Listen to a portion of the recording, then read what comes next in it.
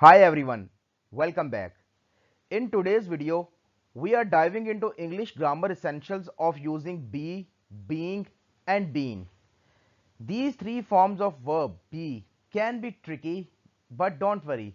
I'll break it down for you with clear examples and explanations. Let's get started. First, let's talk about be. Be is the base form of the verb and it's incredibly versatile. Be is used in several ways. Number one, as an auxiliary verb.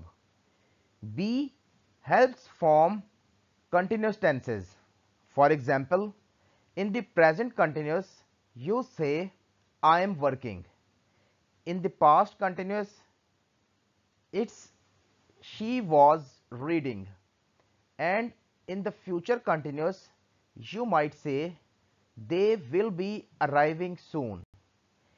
It also forms the passive voice. For example, the book is written by her. The cake was made by him. It is also used as a main verb. Be indicates existence or state of being. For instance, I am happy. She is a teacher. They are here. Be is also used in infinitive constructions after modal verbs and other auxiliary verbs. For example, you must be careful. She will be here soon. It's also used to indicate purpose or intention like he wants to be a doctor and I'm here to be with you. Next, we have being. Being is the present participle form of be. Being is also used to form continuous tenses. In the present continuous passive, we say the house is being cleaned or new policies are being introduced. It is also used as a gerund. It indicates a state or condition like being a teacher is rewarding and I enjoy being with my friends. It also comes after prepositions. For example, she is known for being kind. He is afraid of being alone. It is also used in the participle clauses.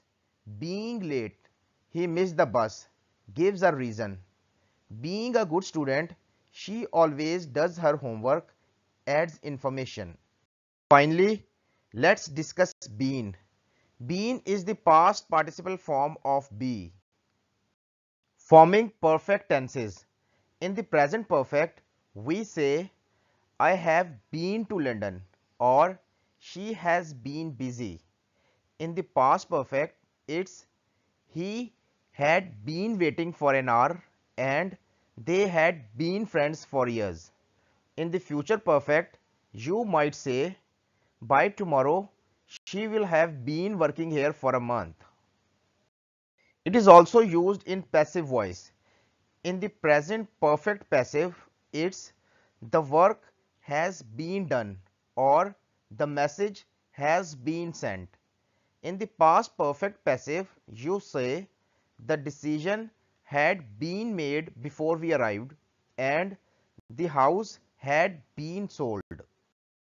And there you have it, a quick overview of be, being and been. These forms are essential for expressing different aspects of time, continuity and passivity in English. Practice using them in sentences and you will become more confident in your grammar skills. If you found this video helpful, please give it a thumb up, subscribe to Medical Professor and hit the bell icon for notifications on future videos. Leave your questions and comments below and I'll happy to answer them. Thank you.